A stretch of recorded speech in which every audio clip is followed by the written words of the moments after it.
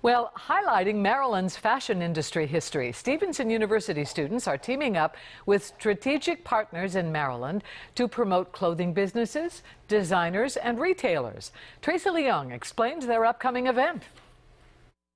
We are making an inclusive effort to just um, connect the fashion community with a platform that it didn't have. So we're just ongoing involvement is our goal. PNC Bank has awarded their program a grant to propel this movement forward. To combine the past, present, and future of the fashion community with our strategic partners, the Jewish Museum of Maryland and the Maryland Historical Society. Their show on May 4th at Power Plant Live will highlight the designers and business owners making a difference in the industry. It's going back to those roots and really showing how the clothing industry is so integral to Baltimore society. Urging designers to apply by March 30th if they want to participate.